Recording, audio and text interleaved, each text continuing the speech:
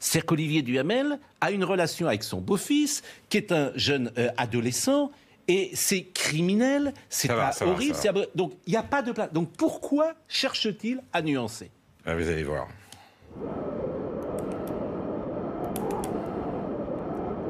C'est ça ma question?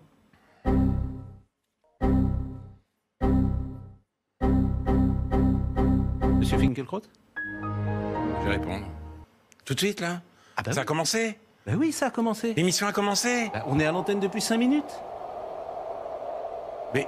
vous- ah bah, Excusez-moi, je ne savais pas que l'émission avait commencé. Alors, je vais vous répondre. D'abord, Pour être aidé, appelez Drogue Info Service au 0800 23 13 13.